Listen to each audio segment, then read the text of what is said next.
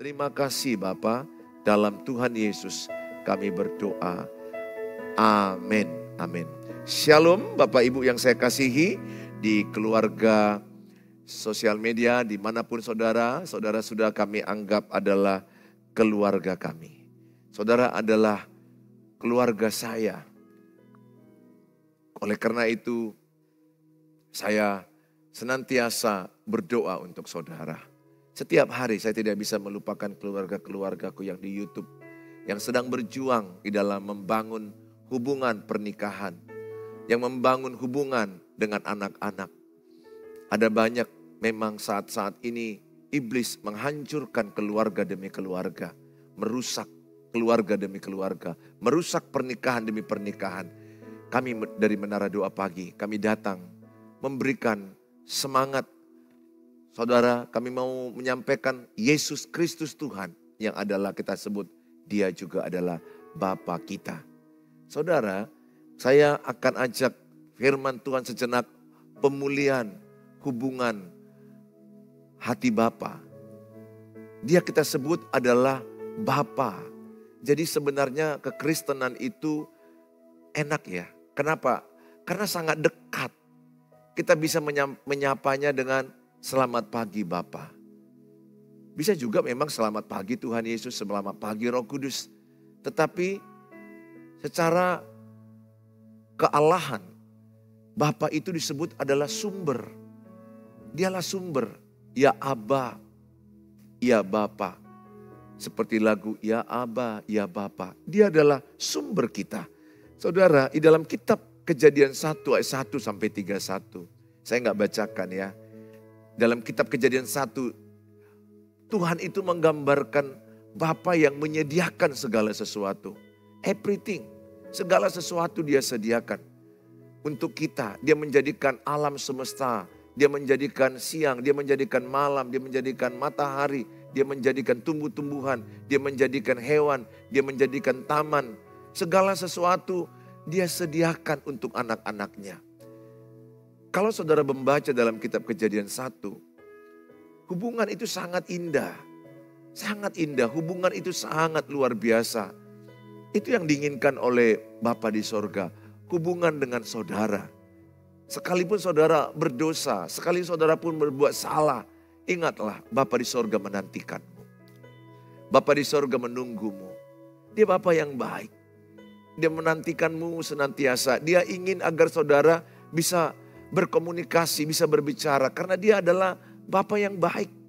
Dia menjadikan taman itu begitu baik, sungai-sungainya begitu indah, pohon-pohonnya begitu indah. Segalanya indah supaya apa? Supaya ada hubungan yang baik. Ini yang terhilang dalam keluarga. Hubungan. Ayo bapak-bapak, kembali kepada anak-anakmu. Ibu-ibu, kembali kepada anak-anakmu. Suami istri, kembali kalian hubungan yang baik jadi sebenarnya kekristenan adalah hubungan. Christianity is relationship. Kekristenan itu hubungan. Saudara, hubungan itu yang lebih penting dari segalanya. Saya punya uh, satu kalimat, bukan makan apa, tapi makan dengan siapa. Itu bicara apa? Makan apa, makan enak. Kalau hubungannya tidak baik di rumah, makanan pun tidak enak. Mau di restoran mahal pun. Kalau hubungan tidak baik, pasti makanan itu tidak enak. Jadi yang membuat makanan itu enak adalah makan dengan siapa. Artinya apa? Hubungan kita itu yang membuat makanan itu jadi lezat, enak. Oleh karena itu saya mengajak sama saudara, mari kita bangun hubungan yang baru yuk. Lupakan yang lalu ya. Yang lalu mungkin kalian sudah saling menyakiti. Ayo matikan egoismu. Hai suami, hai bapak-bapak. Matikan egoismu. Matikan egoismu, hai istri, ibu. Jangan minta suamimu yang berubah, engkau juga berubah. Engkau berkata, aku yang perlu berubah Tuhan. Suami juga bilang begitu, aku juga yang perlu berubah.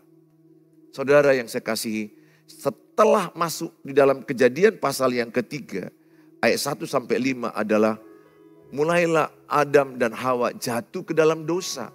Sejak itulah hubungan dengan Bapa itu mulai terhilang. Di mana Adam mulai bersembunyi. Adam mulai ketakutan, Hawa mulai ketakutan. Mereka merasa mulai bersembunyi, mulai merasa menjadi orang yang berdosa.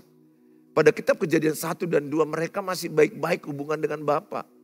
Di kejadian tiga, hubungan mulai retak, hubungan mulai hancur. Mereka sudah mulai merasa jauh, merasa berdosa, merasa tertuduh, udah melanggar buah pengetahuan yang baik dan yang buruk. Saudara hubungan itu sangat penting dibangun kembali. Sekali lagi saya katakan, yang diinginkan Bapak di sorga adalah hubungan dengan kita. Bukan persembahan di gereja yang paling utama. Untuk apa kita hadir di gereja bawa persembahan banyak, tapi nggak menikmati hubungan dalam ibadah itu. Nah hubungan dengan Bapa di sorga ini sangat penting. Maka dia berkata dalam kitab Malayaki 4 ayat yang ke-6. Malayaki 4, 6. Maka ia akan membuat hati bapak-bapak berbalik kepada anak-anaknya. Dan hati anak-anak kepada bapak-bapaknya supaya jangan aku datang memukul bumi sehingga musnah. Dalam kitab Malayaki 4 ayat 6. Ini kitab terakhir di perjanjian lama. Bapak itu menutup dengan kata akan terjadi hubungan yang baik pemulihan hati Bapak kembali kepada anaknya. Anak-anak akan kembali kepada Bapaknya. Itu kerinduan Bapak di sorga. Sekarang ini banyak bapak-bapak yang terhilang dengan anak-anaknya. Bapak-bapak yang meninggalkan anak-anaknya karena perempuan lain. Bapak-bapak yang egois, bapak-bapak yang merasa dia lebih penting yang lain daripada anak-anaknya. Dia lupa anak itu adalah titipan Tuhan yang perlu dijaga. Seumur hidup kita, kita boleh meninggal dunia, tapi jangan tinggalkan anak-anakmu terluka, tersakiti oleh karena pengkhianatan, perselingkuhan, pukulan yang kau lakukan kepada anakmu. Tidak pernah memperhatikan anakmu, tidak pernah memeluk anakmu, tidak hadir di dalam anak-anakmu. Ketika anak-anakmu tumbuh dari TK ke SD, SMP, SMA, apakah bapak-bapak, ibu-ibu hadir sungguh-sungguh kepada mereka? Hadir maksudnya berfungsi, menyaksikan mereka ketika tampil di gereja, menyaksikan mereka tampil di sekolah. Ada banyak, karena kami punya sekolah, saya punya sekolah TK, SD, SMP bahkan. Saya melihat sedikit anak orang tua yang tam, yang hadir Ya katakanlah mungkin karena bekerja, paling tidak ibu. Hari Sabtu pun kami buat libur, tetap juga sedikit. Kadang-kadang lebih banyak memprioritaskan yang lain daripada anak-anak itu sendiri. Ada banyak anak-anak yang terluka. Dan di perjanjian baru dibuka lagi dengan kata Lukas 1 ayat 17. Dan ia akan berjalan mendahului, mendahului Tuhan dalam roh dan kuasa Elia. Untuk membuat hati bapak-bapak berbalik kepada anak-anaknya. Dan hati orang-orang durhaka kepada pikiran orang-orang benar. Dan dengan demikian menyiapkan bagi Tuhan satu umat yang layak baginya. Umat yang layak baginya. Umat yang bapak-bapaknya, mamanya juga Bapak-bapak di sini bukan hanya kepada bapak saja, kepada mama juga, kepada orang yang lebih tua maksudnya. Akan kembali kepada anak-anaknya. Anak-anak akan kembali kepada orang tuanya. Membangun hubungan yang retak, membangun hubungan yang hancur. Sekarang ini banyak keluarga retak dan hancur. Bagaikan gelas yang retak kalau kita pegang dia bisa pecah. Begitulah keluarga sekarang. Salah ngomong meledak, dan banyak anak-anak gak berani menyampaikan isi hatinya karena takut papa mama marah. Mereka memendam isi hatinya. Tahukah bapak ibu ketika kalian berkonflik, marah-marahan, maki-makian, lempar barang. Anak-anakmu sejak masa dini mereka itu memendam semuanya itu. Karena anak-anak adalah plagiat ulung. Anak-anak itu pencontoh ulung. Dan dia tidak punya daya pada waktu kalian bertengkar. Tapi dia ketakutan. Sembari ketakutan dia merekam semua memori yang pernah dia dapat di golden age 0 sampai 8 tahun. Ya, let's say di bawah 12 tahun juga masih masih merekam dengan begitu dalam. Sembari mereka gemetar ketakutan, bahkan gak sedikit ada anak jadi sesak, kejang, demam. Karena bapak dan mama yang egois, yang merasa diri benar. Ingat pertengkaran menurut Alkitab Amsal 13 ayat 10 adalah karena kesombongan. Yakobus 4 ayat 1 sampai 6 dikatakan karena hawa nafsumu, karena kesombonganmu. Yakobus 3 ayat 16 dikatakan karena keegoisanmu mementingkan diri sendiri, merasa benar. Orang yang rendah hati itu tidak ada mau bertengkar. Orang yang sombong itulah yang suka bertengkar. Anak Tuhan Yesus tidak boleh bertengkar dengan siapa pun. Karena Matius 5 ayat 9 anak Tuhan Yesus pembawa damai. Jadi sebaiknya dalam keluarga itu ada yang mengalah. Kalau istrinya gila, gila dengan laki-laki lain, suami engkau harus mengalah, menguasai nafsumu, besarkan anak-anakmu.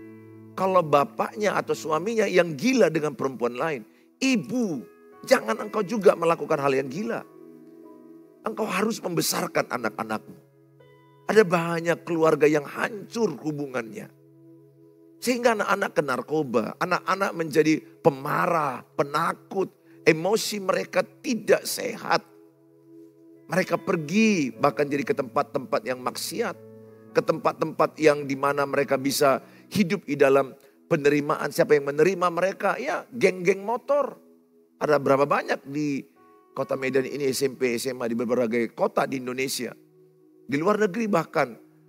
Geng mana yang menerima mereka? Mereka jadi seperti itu. Kalau geng narkoba jadi pemakai narkoba. Bahkan pengedar. Kalau mereka diterima oleh geng motor, jadilah mereka orang yang anarkis. Balap-balapan dan mati sia-sia. Ayo Bapak Ibu, jangan egois. Ini kata Tuhan Yesus. Bahwa di akhir zaman yang diinginkan Tuhan adalah bapak-bapak kembali kepada anaknya. Anaknya kembali kepada bapaknya. Maksudnya anak-anak kembali ke orang tuanya. Dan engkau yang punya anak kecil, bapak-bapak sering peluk anakmu. Kalau dia anak laki-laki sering bermain bola.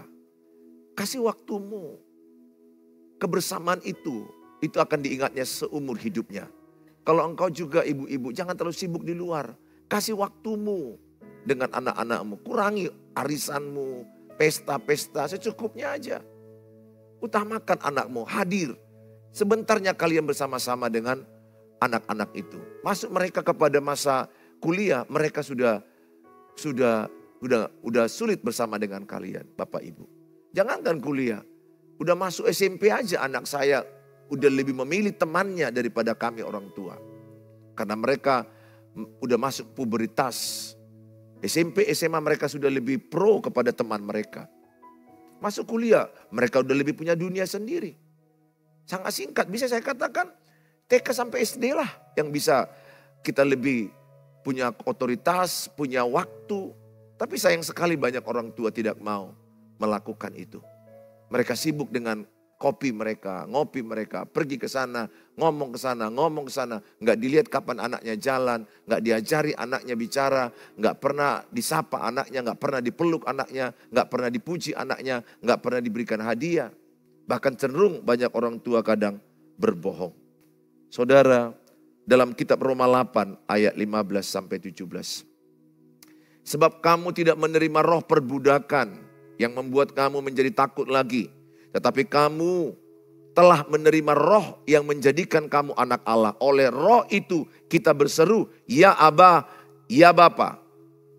Aba itu bahasa Yahudi, bahasa Aram, artinya juga Bapa. Roh itu bersaksi bersama-sama dengan roh kita bahwa kita adalah anak-anak Allah. Ingat, kita adalah anak-anak Allah dan Tuhan kita panggil Abba, Bapa. Waduh, enak ya menjadi orang Kristen itu sangat satu anugerah luar biasa. Menyebut Tuhannya itu Bapa. Ya Abba, ya Bapa. Dan jika kita adalah anak, maka kita juga adalah ahli waris. Ahli waris loh. Maksudnya orang-orang yang berhak menerima janji-janji Allah. Yang akan menerimanya bersama-sama dengan Kristus. Yaitu jika kita menderita bersama-sama dengan dia. Supaya kita juga dipermuliakan bersama-sama dengan dia. Kita juga adalah ahli waris. Saudara yang saya kasihi, saya mengajak semua kita membangun hubungan yang baik kembali dengan anak-anak. Saudara, ada bapak yang sangat-sangat otoriter. Ada ibu juga yang otoriter. Ada orang tua yang sangat keras. harus kemauannya. Kalau tidak dimaui kemauannya, maka dia bisa marah. Bahkan bisa pukul. Saya ada, kami ada jemaat yang pada waktu di kelas 6 SD hanya papanya ngasih hadiah. Sepatunya warnanya nggak cocok. Anak itu hanya bilang, Pak warna sepatunya tidak cocok. Bapaknya langsung pukul itu anaknya. Ada bapak yang terluka pada masa lalunya. Inner child. Masa kecilnya yang masih kecewa. Dengar bapak-bapak, ibu-ibu, saudara-saudara. Kalau saudara masih pemarah, kalau saudara masih muda tersinggung, terluka, salah satu adalah penyebabnya ada luka masa lalu yang belum beres. Mungkin masa lalumu engkau pernah disakiti oleh bapak, orang tua, mama dan bapak. Sehingga luka itu ada di hatimu. Karena ada orang tua yang membanding-bandingkan anaknya. Yang tidak adil. Harusnya orang tua itu melakukan anak-anaknya sama. Ada banyak anak-anak yang saya tahu, yang saya jumpai. Orang-orang tua yang sudah punya anak pun mereka mengakui masa kecil mereka, mereka itu dibandingkan. Abangnya lebih dikasihi, ada adiknya yang lebih dikasihi. Mereka terluka setelah dari masa kecil mereka terluka karena dibandingkan. Bahkan ada bapak yang tega mengurung anaknya di garasi. Ini jemaat kami juga, saya tidak malu nyampaikan. Ibunya hanya gara-gara melanggar perintahnya. Dia mengurung anak itu dan mati lampu. Anak itu ketakutan, menjadi fobia dengan kegelapan. Fobia dengan kesendirian. Trauma. Masih SD kelas 1. Ingat, bukan karena tamparan tanganmu membuat anak itu berubah. Alkitab bilang Kolose 3:21, "Hai bapak-bapak, hai ibu-ibu, hai orang tua, jangan sakiti hati anakmu supaya jangan tawar hatinya." Ada bapak yang sadis, ada ibu yang sadis juga. Memaki-maki anaknya, mencubit anaknya dengan begitu berbekas. Ingat Alkitab tidak menyuruh kita pukul anak, didik anak. Jangan salah tafsirkan rotan di situ. Rotan itu bukan berbicara masalah ambil kayu, pukul anak. Wah itu namanya binatang Bapak Ibu. Binatang yang bisa mungkin kita pukul. Jangan lakukan anak-anak. Bahkan saya aja memiliki seekor anabul ya, seekor anjing. Tidak pernah Oh, jarang lah, hampir tidak pernah memukul dia kami. Kalaupun pukul pelan. Karena sesuatu waktu bisa aja mungkin kita melakukan kepada hewan seperti itu, tapi ini anak kita. Bisa saya katakan kami sekeluarga penyayang kepada anabul ya, kepada hewan. Dan saya heran ada orang tua, ada ibu yang saya lihat juga pakai kayu, Anaknya masih umur tiga tahun, kakinya wah, pukul, pukul. Ingat kalau saya tiga dua satu ibu, bapak, saya capek apa engkau? Jangan lakukan itu. Jangan sakiti hati anakmu. Nanti tawar hatinya mengenal Bapak di sorga. Bapak di rumah itu gambaran Bapak di sorga. Kalau Bapak di rumah itu menyeramkan, maka dia berpikir Bapak di sorga seram. Kalau Bapak di rumah menggambarkan dirinya galak, maka dia berpikir Bapak di sorga juga lebih galak. Karena Allah Bapa, Allah Anak, Allah Roh Kudus. Demikian juga di rumah ada Bapa, ada Ibu, ada anak. Ibu itu menghibur, maka ibu itu juga menggambarkan Allah Roh Kudus. Jadi sorga itu sebenarnya adalah itulah desain daripada keluarga. Jadi keluarga itu didesain, dirancangkan master plan-nya seperti sorga. Sehingga sorga itu ada di keluargamu. Ada suasana sorga, ada damai, ada sukacita, ada tawa, ada canda ada apresiasi, ada pelukan, ada kasih mesra. Saling support antara anggota keluarga. Satu kisah nyata yang saya baca di newspaper. Di Medan, tapi terjadinya di Simalungun. Di mana seorang bapak pulang dari dari puskesmas. Istrinya sedang pergi ke Sibolga. Bapaknya punya anak dua umur 4 sampai 6 tahun. Dan dia ketika bapaknya melihat rumahnya itu begitu hancur-hancuran. Namanya lah empat umur enam tahun laki-laki dua-duanya. Dia tidak lagi menahan emosinya. Dia pukul anaknya. Anaknya berkata, papa, papa ampun, maaf, ampun. Tapi bapaknya tidak terkendali emosinya. Kakinya tendang anak paling kecil. Dia sepak anak itu. Dan anak itu melanting ke dinding. Dan anak itu tidak sadar. Masuk ICU di Siantar tiga hari. Mati. Meninggal dunia anaknya meninggal di tangan bapaknya. Itu kisah nyata. Saudara, menyedihkan. Kenapa bapak seperti itu? Saya sebagai hamba Tuhan, sebagai konselor keluarga, saya sebagai konselor pernikahan, saya tahu banyak orang yang menikah itu, mereka membawa luka masa lalu mereka. Inner child Masa kecil mereka itu banyak disakiti bapak mama mereka. Atau lingkungan mereka, pergaulan mereka. Sehingga luka itu nggak sembuh, dibawanya di pernikahan. Maka ketika jalan so, sepasang pengantin, teng teng teng teng, teng teng teng teng, mereka sedang membawa banyak bom. Mereka sedang membawa banyak luka. Pada waktu mereka ada pemicu Ketika ada pemicu seperti bom ditarik, meledak. Suaminya meledak, pak. Istrinya juga meledak, pak. Karena dua-duanya penuh luka batin. Sebenarnya pernikahan itu sangat indah. Kalau mereka yang menikah itu diberkati, beres dulu luka batinnya. Maka saya bilang sama jemaat yang saya gembalakan, kalau masih merajuknya dirimu, kalau masih siki-siki sakit hati tersinggung, jangan pacaran lah. Karena pasti kau akan lebih sakit hati menikah. Karena itu di dunia real, dunia nyata yang lebih berat dibandingkan pacaran. Kalau pacaran aja yang indah-indah aja kau sakit hati, tersinggung karena nggak di WA, karena nggak dibalas WA-mu, karena tidak di, diperhatikan lebih banyak. Bereskan dulu lah luka batinmu. Bereskan dulu hatimu. Alkitab bilang gini, apa yang keluar dari mulut keluar dari hati. Kalau hatimu sini banyak luka, engkau akan melukai. Kalau hatimu sini banyak kecewa, engkau akan mengecewakan. Kalau hatimu sini banyak sakit, engkau akan menyakiti. Kalau hatimu sembuh, maka mulutmu akan sembuh, kata-katamu akan sembuh, perkataanmu akan sembuh. Saya ajak pada hari ini, ayo sembuhkan hatimu dengan menerima kasih karunia Tuhan. Saya pun dari keluarga, bapak saya dari keluarga besar angkatan darat, mama saya dari kepolisian wanita. Kami juga tinggal dulu di asrama polisi. Kami tidak mudah dididik dengan kadang main pukul, main fisik. Pada prinsipnya bapak mama kami baik. Tapi kalau sudah emosi tidak terkendali ya pukulan yang terjadi. Ingat pukulan tidak mengubah, menakuti betul. Mendidik dengan tegas boleh. Didik tegas berulang-ulang kata kitab ulangan 6 ayat 6 sampai 7 Berulang-ulang dinasehati, berulang-ulang diingatkan. Saudara, luka itu ada pada saya.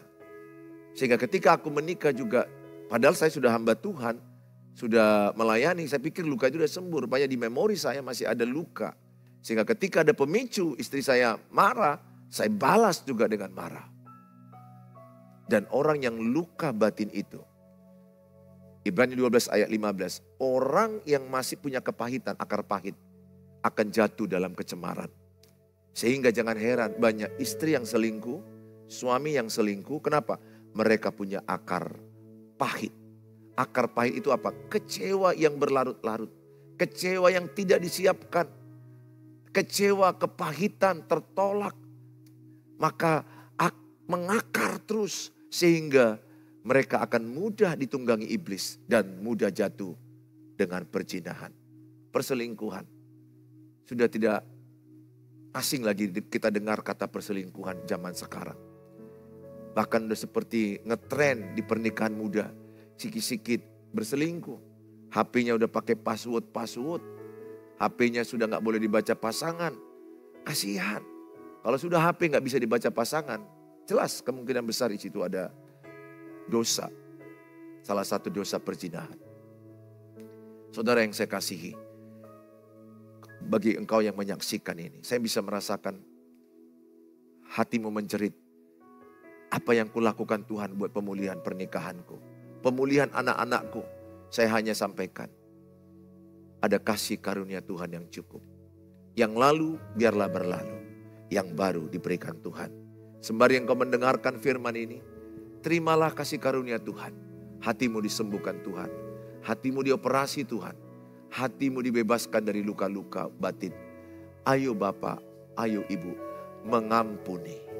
Dengan mengampuni hatimu akan bersih dengan kepahitan. Ampuni masa lalumu. Ampuni keluargamu, papa mamamu, ampuni siapa pun yang lalu menyakitimu.